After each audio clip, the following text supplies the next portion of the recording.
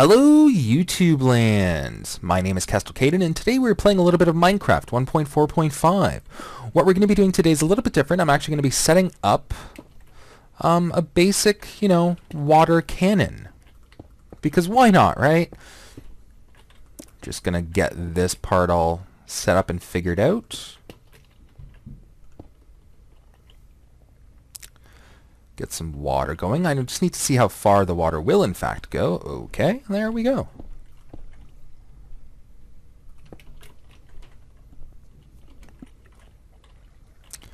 Do, do, do, do, do. So, for this step, what we need, first off, getting the rabbit out of the way, or bunny. This will, in this demonstration, this will be a 7 cannon, or a 7 block charged cannon. Going to get all of the stuff done. What you'll also need is some redstone powder. The first string, or the first side, you'll want to go right to the very end without touching the final TNT block. What you'll want to do for this one is do the same thing, however, you will want to use some repeaters. I usually like to use five or six. It really depends on where you want to hit if you want to do it in the air, if you want to wait, etc., etc. How many is this? One, two, three, four, five, six. So we can actually see how this works. Now keep in mind that redstone powder, in order to trigger TNT, non-directionally has to be done uh, technically, as you can see, right above the block itself. However, that's not always the case, so do keep in mind, you know, you can do this different ways. This is the simplest way that I used to do it. I used to create one which actually used to look like a giant gun, which was actually kind of fun and intimidating, but I mean, it used to take a lot longer to set up. So, let's have some fun. Boom! Ooh, that one launched me a little bit too. Because of the way that I have this set up, it won't actually cause damage unless I see it.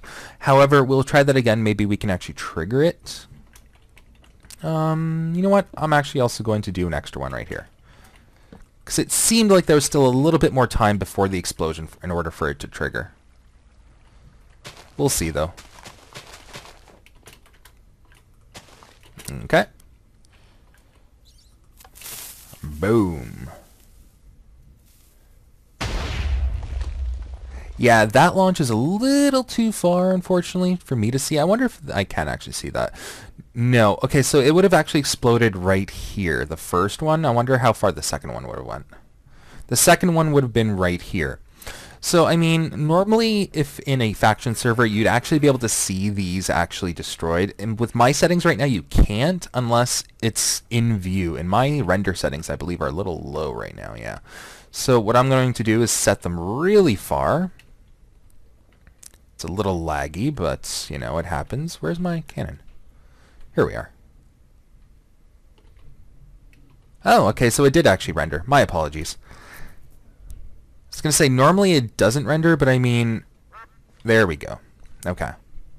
And that's something with one of my mods right now that I'm actually testing, so don't mind that too much.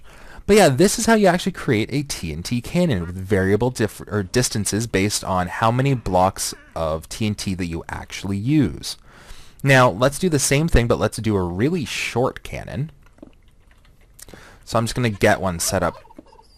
There are a lot of animals around me right now, and I don't like that, even though I'm on peaceful. Okay, so this is going to be a really short and stubby cannon, basically. That's the best way that I can describe it. Uh-huh. And what I'm actually going to do is extend the uh, barrel just a little bit over here, just so I can get some extra repeaters going. Because I don't want it to kind of blow up near the very end. Or, like, in the air type of thing. I don't know how that one got down there, but that's okay. Okay, so, this is going to be a three-block cannon.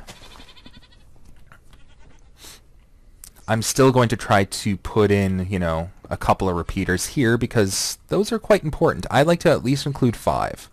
Maybe six if I can fit them, but, you know. Just food for thought. Alright, let's go. I think I did this, right? Yep. Heyo! So, I mean, you can do short and stubby ones, though the accuracy of them is a little bit less uh, accurate, so to speak. I'm actually going to knock that one off just to see the difference. Whoops. Don't want that one there, do we? Alright, let's hit one more time.